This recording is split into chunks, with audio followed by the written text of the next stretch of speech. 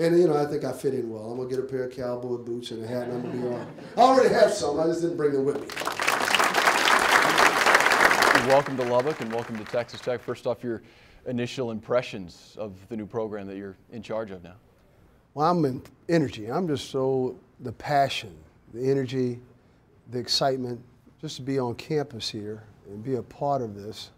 You know, it's just a lot of, you can feel the energy in the, in the air around here. But I can't wait to get started, you know, with our present student athletes and basketball players, finding out more about them, as well as getting on the, getting on the recruiting trail.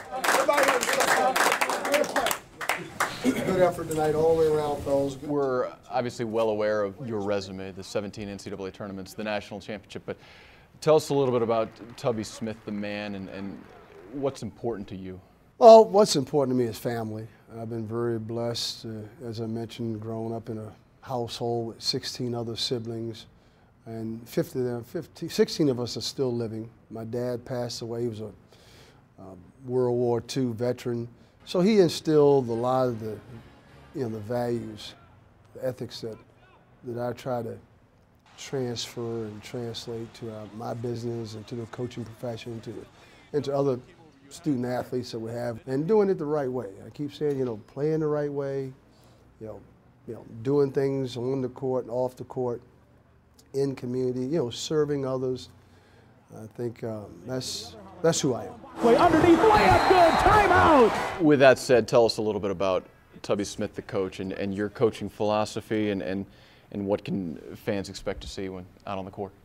Well, as far as philosophy is, I think my teams have been a team that have been very um, defense oriented, but we also put a lot of, we've been able to be one of the top scoring teams year in, year out in every conference we've been in. We've always been a good rebounding team. We've always been one of the top teams as far as sharing the basketball and leading the Big Ten in assists was something that I take a lot of pride in that our kids play together.